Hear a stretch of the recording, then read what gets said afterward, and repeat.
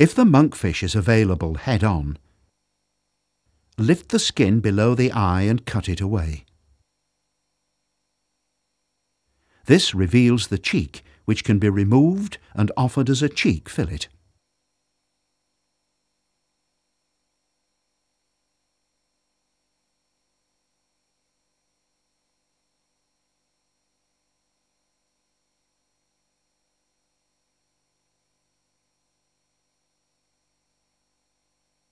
Remove the silver skin for presentation.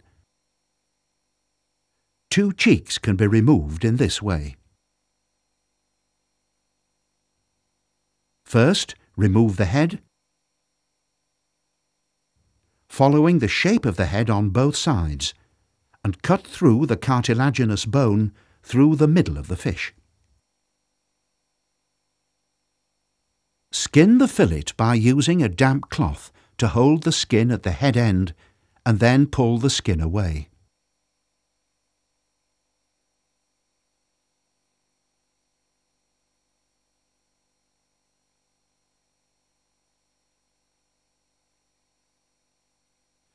Turn the fillet over and trim away the belly flap on both sides.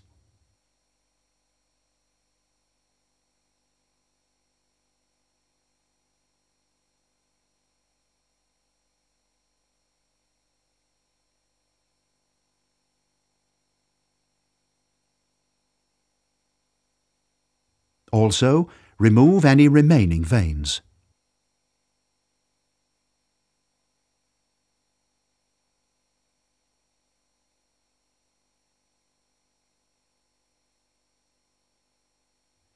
Turn the fillet over again and run the knife along one side of the spine and cut through.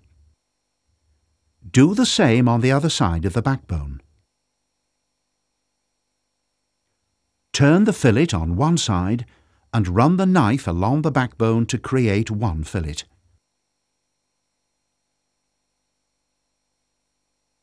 Repeat on the other side to create two fillets.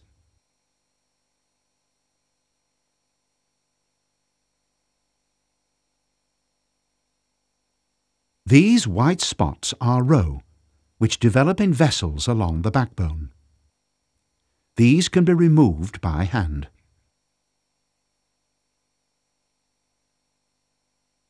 To skin, insert the knife between the fillet and the skin at the tail end and run the knife along the fillet until you can grab the skin.